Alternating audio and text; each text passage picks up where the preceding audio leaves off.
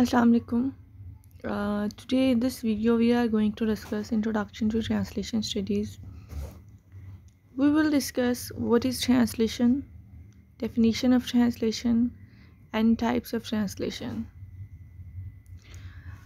so आपने जो है, कभी देखा होगा, देखा नहीं एक्चुअली आपने एक्सपीरियंस किया होगा कि आपने अपने मैट्रिक में या एफ़ में uh, बहुत सारे ऐसे सेंटेंसेस होंगे ठीक है, जिन्हें उर्दू में ट्रांसलेट किया होगा, जैसे ये यहाँ पर कुछ सेंटेंसेस हैं, जिन्हें उर्दू में ट्रांसलेट करना है what is your hobby the patient had died before the doctor came she fell down while walking I love to read books but I don't have time to read nowadays so in sentences को उर्दू में convert करें। Same like like हमारे पास एक उर्दू का paragraph है उर्दू का paragraph है, जिसे हमने, हमारे पास हम, हमारी जो ऑफिशियल लैंग्वेज है एजुकेशनल वो हमारी इंग्लिश है कि अगर हम उसे, इसे इंग्लिश में ट्रांसलेट करते हैं। तो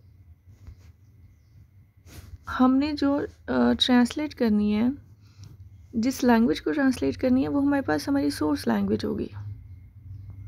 क्या कहलाएगी? सोर्स लैंग्वेज काइंडली ये बोर्ड याद रखिएगा सोर्स लैंग्वेज अब हमने इस पैराग्राफ को हमने इंग्लिश लैंग्वेज में जो है वो ट्रांसलेट कर लिया। हमारे पास एक लैंग्वेज थी जिस, जिससे हमने ट्रांसलेट करना था दूसरी लैंग्वेज में।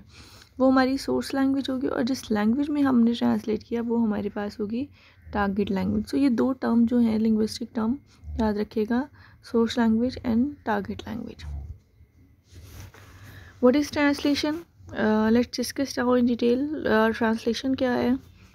ट्रांसलेशन uh, असल में जो है वो uh, उर्दू तर्जमा करने को हम कहेंगे। तर्जमा करना किसी चीज़ को एक लैंग्वेज से दूसरी लैंग्वेज में इस तरह से बयान करना कि उसका मीनिंग जो है वो कन्वे हो। So translation is a process of giving meaning ideas और messages of it text from one language to another language translation क्या है? हमारे पास एक ऐसा प्रोसेस है, जिसमें हम क्या करते हैं? लफ्ज़ों का, ख़यालात का, और जो पैगाम दिया गया है, किसी भी टेक्स्ट का, ठीक है, उसे एक लैंग्वेज से दूसरी लैंग्वेज में कन्वर्ट करते हैं। जैसे अभी ऊपर एक पैराग्राफ था, वो उर्दू लैंग्वेज में था। उसमें कोई तो कोई तो जो है, वो उसका मीनिंग भी चेंज ना हो। हमने ऐस ऐसे उसे ट्रांसलेशन करना है तो ये हमारी जो है, वो ट्रांसलेशन होगी। Translation is a process which is intending to find meaning equivalence in the target text. So so, translation क्या है? एक ऐसा प्रोसेस है एक ऐसा अमल है ठीक है जो किस लिए इस्तेमाल किया जाता है ताकि यहाँ पर टारगेट टेस्ट टेक्स्ट जो है हमारे पास वो टेक्स्ट होगा जिस लैंग्वेज में हमने जो है वो कन्वर्ट करना है। जैसे हमारे मैंने आपको ऊपर एग्जांपल दिया कि हमारी उर्दू लैंग्वेज है। हमारी कौमी ज़ुबान उर्दू है। हम उर्दू वाला टेक्स्ट हमेशा जो है, अगर हम कम्युनिकेट कर रहे हैं इंग्लिश लैंग्वेज में, हम इंग्लिश लैंग्वेज पढ़ रहे हैं, हमारी ऑफिशियल लैंग्वेज इंग्लिश लैंग्वेज है तो हम जो है, वो ज़्यादातर टेक्स्ट जो है, वो उसी लैंग्वेज में ट्रांसलेट करेंगे। हम अपनी उर्दू लैंग्वेज को, हमारा जो हमारी सोर्स लैंग्वेज है, उस लैंग्वेज से टारगेट टेस्ट या टेक्स्ट यानी कि जो हमने लैंग्वेज लर्न करनी है, जो हमने लैंग्वेज ट्रांसलेट करनी है, जिस लैंग्वेज में ट्रांसलेट करनी है, वो टारगेट टेस्ट कहलाएगा। So it is necessary to understand the concept of translation as mentioned by many translation theories uh, to obtain an overall picture of the translation process. So concept uh, जो है वो translation का समझने के लिए ठीक है जो बहुत सारे थेरीज ने uh, बहुत सारे बहुत सारे थेरिस्ट ने दिया है तो उसके लिए हमें पूरा उसका ओवरऑल जो है प्रोसेस समझने के लिए कि ट्रांसलेशन क्या है ट्रांसलेशन स्टडीज़ क्या है तो उसके लिए हम क्या करेंगे? हम जो तेरिस ने जो थेरीज दी हैं कि ट्रांसलेशन क्या है ट्रांसलेशन कैसी होती है कितनी किस्म की ट्रांसलेशन है उसके लिए आ, हमें जो है वो थेरिस की थेरी जो है वो पढ़नी होगी। So here let's discuss different definitions of translation the first translation is by Newmark Newmark जो है वो इंडिकेट करते हैं न्यू मार्क्स जो है वो एक ट्रांसलेटर हैं लिंग्विस्ट हैं। वो कहते हैं कि translation is rendering the meaning of a text into another language in the way that the writer intended the text Newmark का कहना है कि ट्रांसलेशन जो है आ, वो ऐसा मीनिंग देना है टेक्स्ट को ठीक है किसी दूसरी लैंग्वेज में इस तरह से जिस तरह से राइटर ने पेश की है। न्यू मार्क कहती हैं कि ट्रांसलेशन एक ऐसा प्रोसेस है एक ऐसा तरीका है जिसमें किसी भी लफ्ज़ को उसका मतलब देना है। यानी कि आप जैसे यहाँ पे बहुत सारे फॉरेनर्स होंगे जो पाकिस्तान घूमने के लिए आती हैं तो वो उर्दू लैंग्वेज समझने के लिए आ, वो जो है वो ट्रांसलेट उन, उनको किया जाता है। सेम उनकी लैंग्वेज में जो है वो जो है वो ट्रांसलेट किया जाता है। Another definition of Hatim and Munday in 2004 four ये भी ट्रांसलेटर हैं और ये डिफ़ाइन करते हैं ट्रांसलेशन को। uh, कि ट्रांसलेशन जो है as the process of transferring a text from source language to target language मैंने आपको कहा था कि सोर्स लैंग्वेज और टारगेट लैंग्वेज को याद रखेगा कि हैतिम मुंडे जो है वो ट्रांसलेशन को एक ऐसी प्रोसेस के तौर पर बयान करती हैं, जिसका मकसद जो है, वो रिटर्न टैक्स को ट्रांसफ़र करना है। ट्रांसलेशन को आप रिलेट कर सकते हैं ट्रांसफ़र से कि आप एक जगह से एक लैंग्वेज से उठा के दूसरी लैंग्वेज में कन्वर्ट कर रहे हैं। सोर्स लैंग्वेज सोर्स लैंग्वेज वो लैंग्वेज होगी जो जिस लैंग्वेज से आपने टेक्स्ट कन्वर्ट करना है। जैसे आप उर्दू स्पीकर हैं, आपने या फिर इसकी सिंपल एग्जांपल है, आपकी मदर टंग सराइकी लैंग्वेज है। और आप जो है अगर किसी उर्दू स्पीकर से बात कर रहे हैं तो वो आपकी वो जो वो क्या कहते हैं सराइकी लैंग्वेज है, आप उसको, उसकी वर्ड्स जो है, वो उर्दू लैंग्वेज के अकॉर्डिंग जो है, वो आप ट्रांसलेट करेंगे और वो फिर कम्युनिकेट करेंगे। तो यहाँ हमारे पास सोर्स लैंग्वेज भी सोर्स लैंग्वेज कोई भी हो सकती है। ये नहीं हम उर्दू और इंग्लिश की बात कर रहे हैं। उर्दू और इंग्लिश की एग्जांपल आपको समझाने के लिए ली है। सोर्स लैंग्वेज कोई भी हो सकती है। सेम लाइक टारगेट लैंग्वेज कोई भी हो सकती है। जैसे इंग्लिश पीपल के लिए हमारी उनकी इंग्लिश लैंग्वेज सोर्स लैंग्वेज होगी और उर्दू लैंग्वेज अगर वो पाकिस्तान आते हैं और इंग्लिश सीखते हैं तो वो उनके लिए जो है टारगेट लैंग्वेज उर्दू होगी। बिकॉज़ उन्होंने कम्युनिकेट करना है उन्होंने गुफ्तु करनी है बात करनी है तो उन्हें वो लैंग्वेज जो है वो आ, सीखनी है। और अगर वो सीख नहीं रहे तो उनको ट्रांसलेट किया जाएगा। Okay another definition that is presented by Bethan and Hudson in 1972 according to them translation translation is a replacement translation वो कहते हैं कि ट्रांसलेशन एक रिप्लेसमेंट है। यानी कि आप क्या करते हो? रिप्लेस कर दे हो, कर देते हो किसी एक टेक्स्ट को, ठीक है, एक लैंग्वेज में। ठीक है एक किसी भी टेक्स्ट को आप रिप्लेस करते हो जो एक लैंग्वेज में है, और रिप्लेस किससे करते हो? उसी उसी के इक्विलेंट इक्विलेंट मीन कि आपने जो है, उसके जो क्लोजली रिलेटेड मीनिंग है, उसी के अकॉर्डिंग आपने सेकेंड लैंग्वेज में कन्वर्ट कर दिया है रिप्लेस कर दिया है। आप ये नहीं, आपने उसका मीनिंग जो है वो जो वर्ड्स थे उस लैंग्वेज के, आपने उसी के क्लोजली रिलेटेड मीनिंग जो है वो उस मीनिंग को अटैच किया और टेक, जो कहना चाहते थे, जो टेक्स्ट का मतलब था, आपने उसे चेंज नहीं किया, आपने ग्रामेटिकल स्ट्रक्चर चेंज नहीं किया, आपने उसकी वोकेबलरी वर्ड्स यूज़ नहीं चेंज नहीं किए, कि जिन वर्ड्स का इस्तेमाल किया गया उस टेक्स्ट में, अगर आप उसका मीनिंग जो है वो चेंज कर देते हैं तो वो जो उसका मीनिंग है एक्चुअल मीनिंग है। ट्रांसलेशन का मतलब होता है कि एज इट इज़ आप जिस अपने लैंग्वेज में उसको ट्रांसलेट कर रहे होते हो, आप टेक्स्ट रिप्लेस कर सकते हो, आप वर्ड्स रिप्लेस नहीं कर सकते।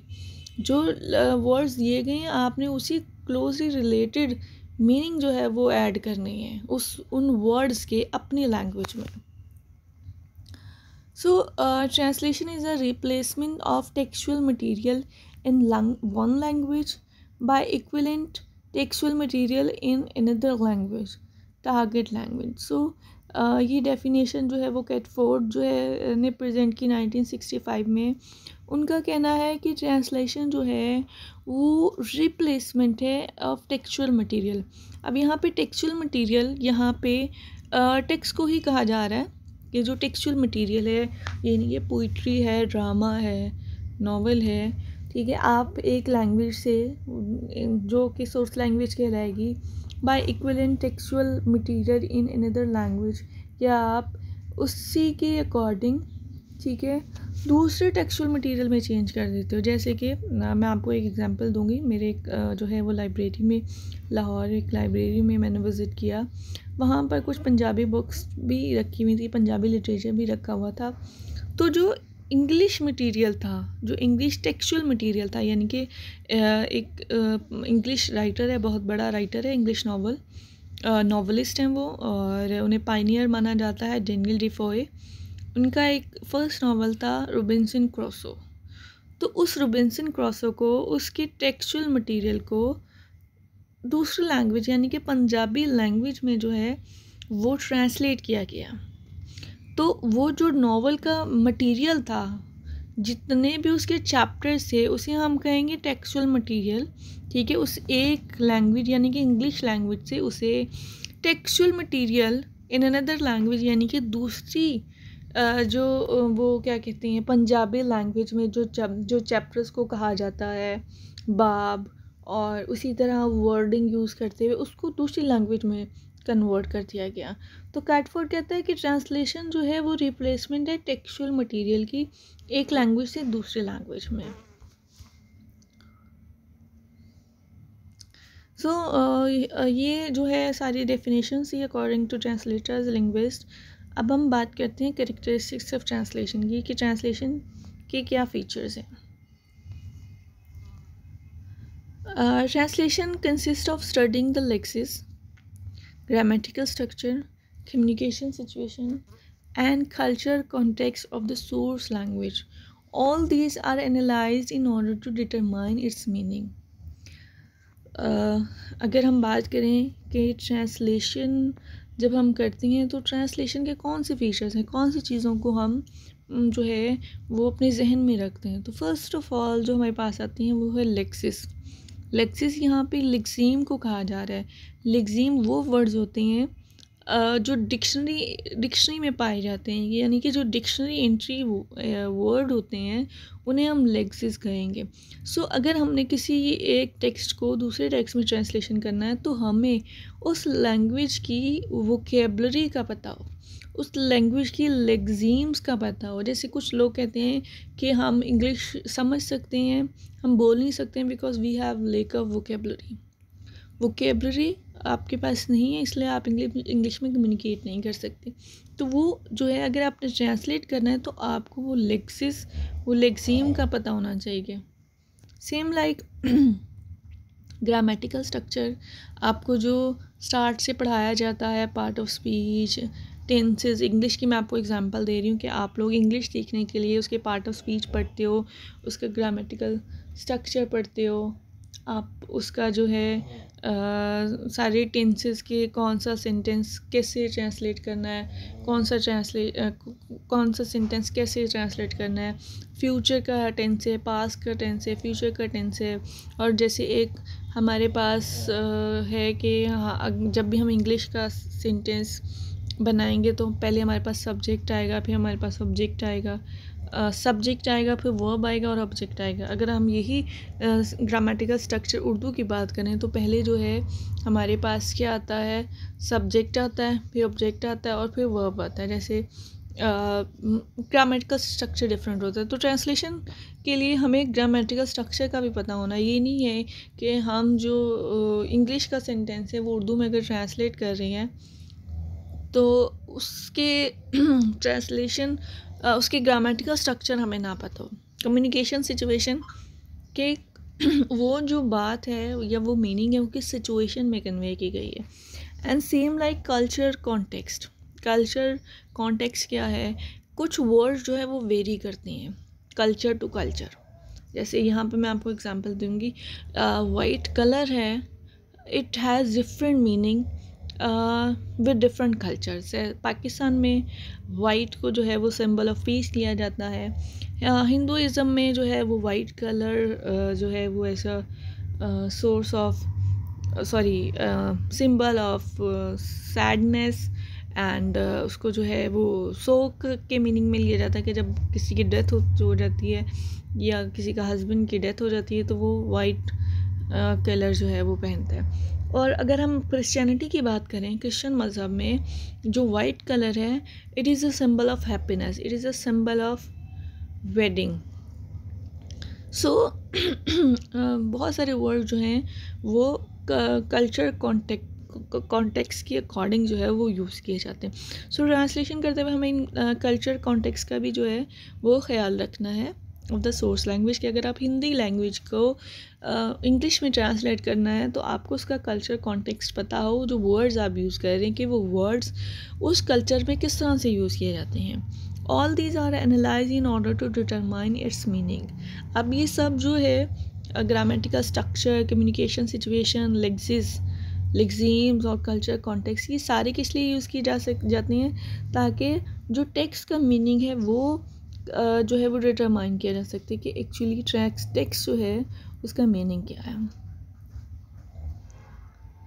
The same meaning is then reconstructed using the lexicon and grammatical structure which are appropriate in target language अब बात हो रही है कि सेम मीनिंग जो है, जो जो हमारे पास टेक्स्ट है, जो हमारे पास जिस लैंग्वेज से हमने ट्रांसलेट करना है, उस उस मीनिंग को रिकन्स्ट्रक्ट किया जाता है। एक तो हमारे पास उर्दू मीनिंग है, उर्दू टेक्स्ट है, हिंदी टेक्स्ट है, या फिर स्पेनिश टेक्स्ट है, कोई भी लैंग्वेज का टेक्स्ट आ जाएगा, उस मीनिंग को फिर रिकन्स्ट्रक्ट करते हैं।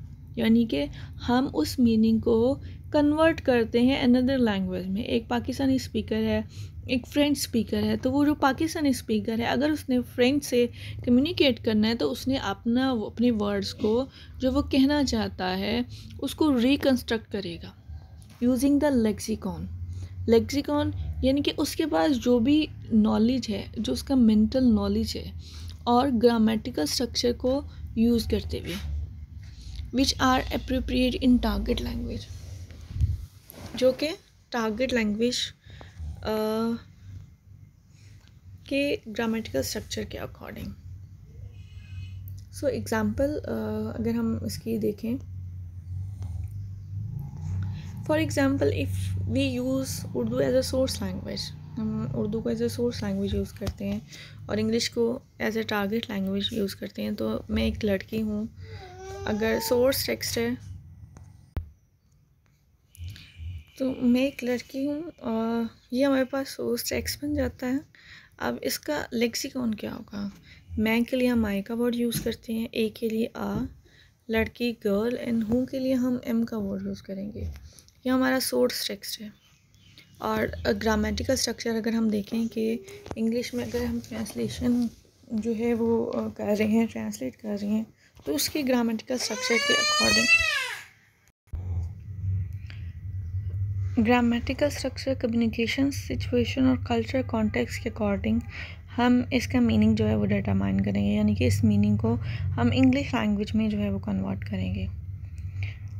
मीनिंग मैं एक लड़की हूँ, ये हमारे पास एक मीनिंग है।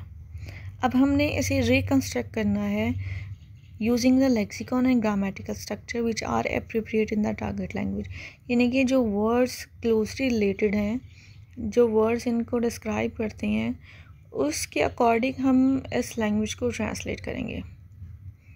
मैं एक लड़की हूँ this would be source language into I am a girl so ये हमारी टारगेट लैंग्वेज होगी और ये हमारी सोर्स लैंग्वेज होगी। हमने इस मीनिंग को रिकन्स्ट्रक्ट कैसे किया कि इस इस लैंग्वेज की जो इंग्लिश लैंग्वेज है, इसके ग्रामेटिकल स्ट्रक्चर और जो जो हमारे पास जो है इसके क्लोजली रिलेटेड मीनिंग थे, उसको जोड़कर हमने ग्रामेटिकल स्ट्रक्चर के हमारे पास पहले सब्जेक्ट होगा, फिर वर्ब होगा, फिर ऑब्जेक्ट होगा, हमने जो इसको ट्रांसलेट कर दिए so here we are going to discuss types of translation types of translation में पहले हमारे पास आती है semantic translation then literary translation then functional translation and then official और टेक्निकल और एडमिनिस्ट्रेटिव एडमिनिस्ट्रेटिव ट्रांसलेशन तो हमारे पास सबसे पहले आती है सीमेंटिक ट्रांसलेशन सीमेंटिक आप आ, जो है अगर हम एनालाइज करें ये वर्ड सीमेंटिक सीमेंटिक हमारे पास जो है वो आ जाता है meaning of study sorry study of meaning semantic is the study of meaning meaning हमारे पास फिर दो तरह के आ जाते हैं। एक हमारे पास लिटरल मीनिंग यानी कि जो हमारे पास डिक्शनरी में वर्ड है एज इट इज़ वो मीनिंग हम लिखते हैं। और दूसरा मीनिंग होता है एसोसिएटिव मीनिंग जो हम एसोसिएट कर लेते हैं चीज़ों को लेकर। तो यहाँ पर हमने जो है वो सीमेंट्रिक ट्रांसलेशन हम करेंगे आ, आ, इस टाइप में। यानी कि हम जो वर्ड्स दिए गए हैं उन वर्ड्स को, जो उनका मीनिंग बनता है, वैसे ही ट्रांसलेट करके और जो है वो रिकन्स्ट्रक्ट कर देंगे। So semantic translation is a type of translation that tries to preserve the semantically and syntactical structures of the second language वही मैंने आपको बात की कि सीमेंटिक रिलेशन सीमेंटिक ट्रांसलेशन ऐसी ट्रांसलेशन है जिसमें सीमेंटिकली एंड सिंटेक्टिकल स्ट्रक्चर जो है, वो देखा जाता है सेकेंड लैंग्वेज का, कि वो उस वर्ड का मीनिंग क्या बनता है। यहाँ पे हम लिटरल मीनिंग की बात करें कि उस वर्ड का एक लैंग्वेज में, उर्दू लैंग्वेज में उर्दू लैंग्वेज से इंग्लिश लैंग्वेज लैंग्वेज में उस वर्ड का मतलब क्या है? और सिंटेक्टिकल यहाँ पे सेंटेंस स्ट्रक्चर की बात हो रही है। सिंटेक्टिकल सिंटेक सिंटेक्स भी हमारे पास लिंग्विस्टिक की एक ब्रांच है, जिसमें हम क्या स्टडी करते हैं, हम सेंटेंस स्ट्रक्चर को स्टडी करते हैं। तो सेकेंड लैंग्वेज सेकेंड लैंग्वेज यानी कि वो जो लैंग्वेज जिस लैंग्वेज में आप ट्रांसलेट कर रहे हैं, वो आपकी सेकेंड लैंग्वेज कहलाएगी। तो आप, जैसे ऊपर जो है आप पैराग्राफ था उर्दू में, आपने एज इट इज़ उसको उठा के इंग्लिश में कन्वर्ट करना है, उसमें आप कोई चेंजेस नहीं करेंगे। जो इंग्लिश लैंग्वेज का सेंटेंस स्ट्रक्चर है, उसी के अकॉर्डिंग आप जो है वो ट्रांसलेट कर देंगे। आप खुद से कुछ जो है वो ऐड नहीं करेंगे। जो मीनिंग उसका बनता है, वही आप कन्वे करेंगे दूसरी लैंग्वेज में। So it is the method of sense for sense relation semantic translation जो है हमारे पास कौन सा मेथड है? सीमेंटिक ट्रांसलेशन हमारे पास ऐसा प्रोसेस है जिसमें हम सेंस फॉर सेंस रिलेशन की बात करते हैं। मीन्स के उर्दू लैंग्वेज में जो सेंस बनती है बात की, वही हम जो है, वो इंग्लिश लैंग्वेज में जो है वो ट्रांसफ़र कर देंगे। हम बिल्कुल जो है उसको चेंज नहीं करेंगे।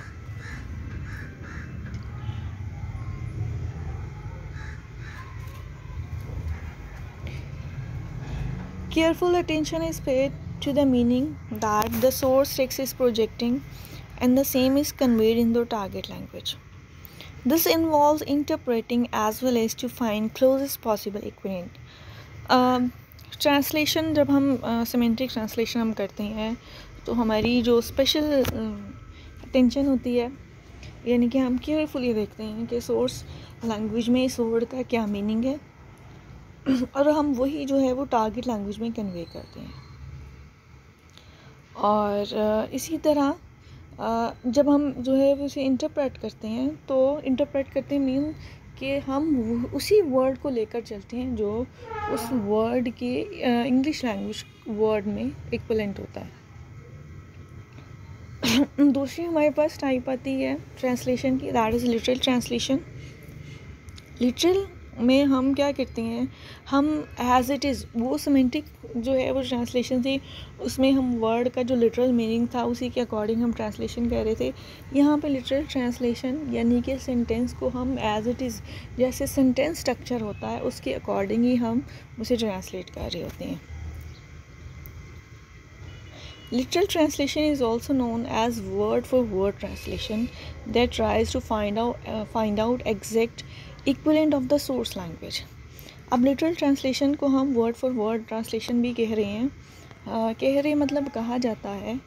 और इसमें जो है एग्जैक्ट जो सोर्स लैंग्वेज में जिन वर्ड्स का इस्तेमाल किया गया सेंटेंस में एज इट इज़ जो है हम उन्हीं वर्ड्स को वैसे ही जो है वो लिटरल ट्रांसलेट कर देते हैं। Literal translation is the translation of text from one language to another word uh, for word rather than giving the sense of the so literal translation में क्या होता है कि हम जो टेक्स्ट की ट्रांसलेशन होती है एक लैंग्वेज से दूसरी लैंग्वेज में वर्ड फॉर वर्ड यानी कि अगर uh, जो है मैं कहती हूँ कि लिटरल ट्रांसलेशन है ट्रांसलेशन ऑफ़ द टेक्स्ट तर्जमा है टेक्स्ट का मैं अब ये जो है जो जैसे जैसे वर्ड लिखा हुआ है उसको ऐसे ऐसे ट्रांसलेट कर देती हूँ। तो ये होगा वर्ड फॉर वर्ड ट्रांसलेशन बजाय कि मैं आपको इस पूरे जो है वो पैराग्राफ का एक मतलब बता दूँ।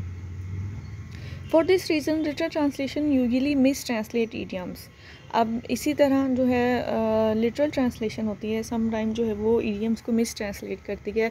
जैसे uh, अगर हम बात करें फेयर वेदर फ्रेंड्स अगर हम इसे उर्दू में ट्रांसलेट करें फेयर का मतलब डर होता है वेदर हम मौसम को कहते हैं और उसके अलावा वेदर का एक और मतलब होता है फ्रेंड्स हमारे पास हो गए दोस्त।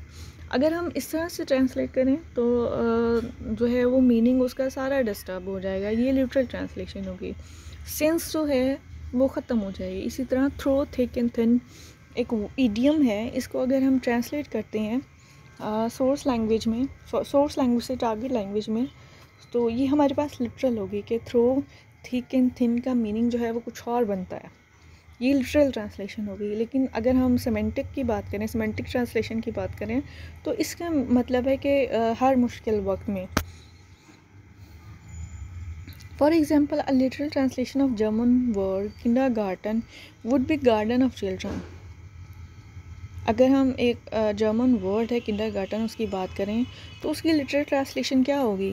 किंडर गार्डन की garden of children but in English the expression refers to the school year between preschool and first grade लेकिन अगर हम इंग्लिश एक्सप्रेशन यूज़ करें इंग्लिश में से ट्रांसलेशन ट्रांसलेट करें, ठीक है?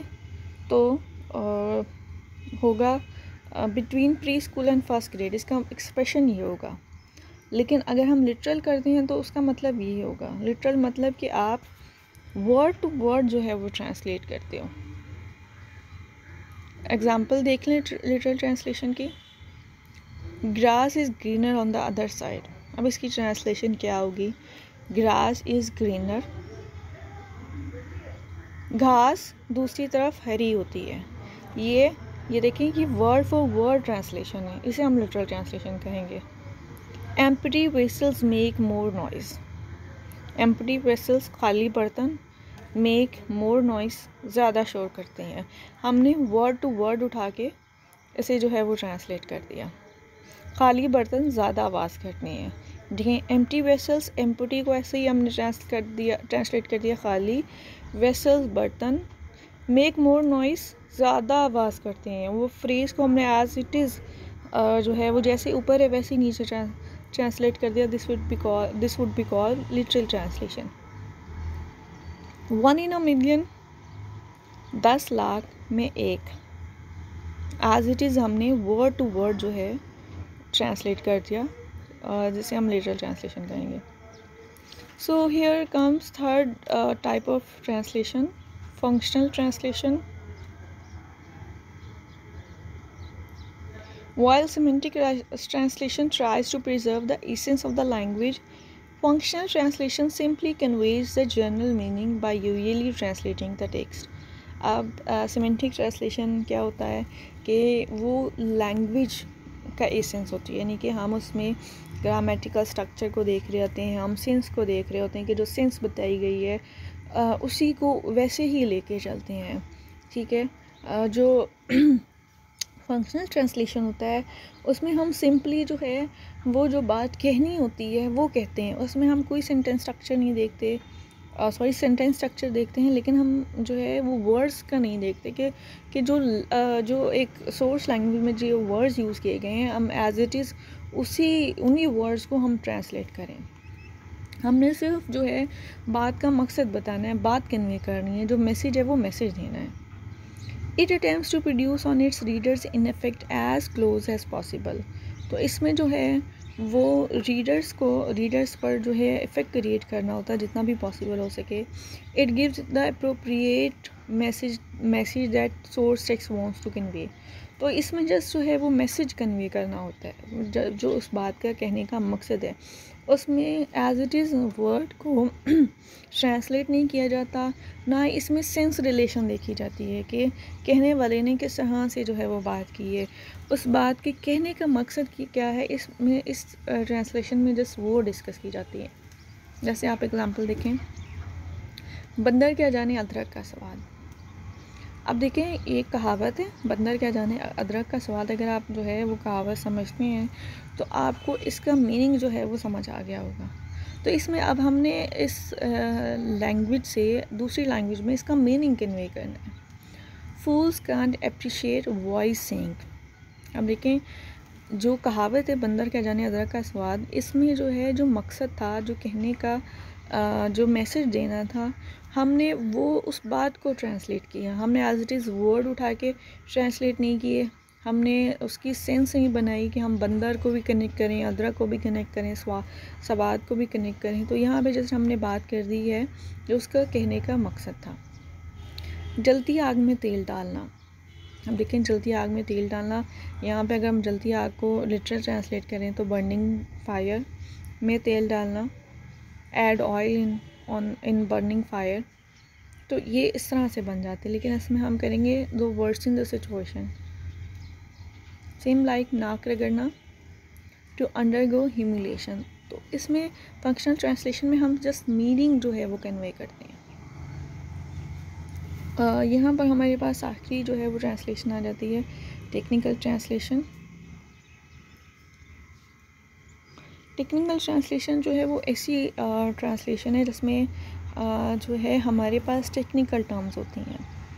It is a type of translation which pertains to the professional requirements and through knowledge of the subject professional requirements इसलिए बात की जा रही है क्योंकि कुछ ट्रांसलेशंस ऐसी हैं जैसे हमारे पास आ, कोई हमने कोई गैजेट परचेज़ किया है कोई ऐसी मशीनरी परचेज़ की है उसको वो हमारे पास वो मेड इन जर्मनी है मेड इन चाइना है या फिर किसी ऐसे लैंग्वेज में है, जिसके, जिसको जिसका मैनुअल पढ़ने के लिए हमें ट्रांसलेशन की ज़रूरत है।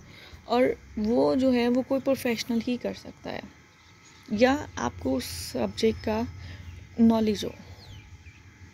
A technical translation has broad meaning it usually refers to certain field such as I T और manufacturing and deals with texts such as menus instructions so मैंने जैसे अभी बात की कि आप कोई भी मशीनरी परचेज़ करते हैं, उसके साथ एक मैनुअल होता है, एक इंस्ट्रक्शंस कार्ड होता है कि आपने इस, इसको किस लैंग्वेज इसको किस तरह से यूज़ करना है।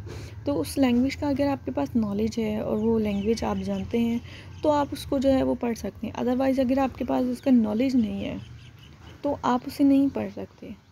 उसके लिए आपको प्रोफेशनली ट्रांसलेटर की ज़रूरत होगी।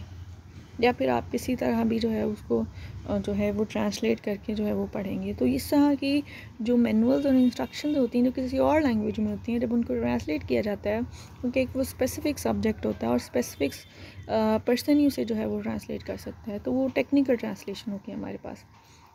Technical translation is more expensive than general translation as they contain a high amount of terminology that only a specialist translation could, translator could deal with. So so, जो technical translation होती है वो जो है जो एक जनरल ट्रांसलेशन है उससे ज़्यादा जो है वो ज़्यादा हैवी होती है और इसके अंदर एक हाई किस्म की जो है वो टर्मिनोलॉजी होती है यानी कि कुछ फ़ील्ड होती हैं उनके कुछ टर्म्स होती हैं और वो टर्म्स जो है वो स्पेसिफिक पर्सन ही जो है वो बता सकती हैं। तो वो वो स्पेशलिस्ट ट्रांसलेटर ही उसको जो है वो ट्रांसलेट कर सकता है।